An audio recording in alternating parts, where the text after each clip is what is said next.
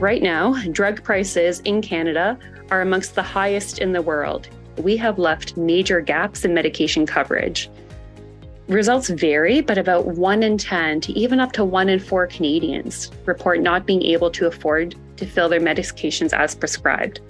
There's so much unnecessary financial waste in our current system because it truly is a patchwork. Calling it a system is very generous. We have folks without coverage, we have those with private insurance coverage, sometimes through employers or otherwise, and we have folks who are covered through public drug plans. The requirements and coverage varies between each province and territory.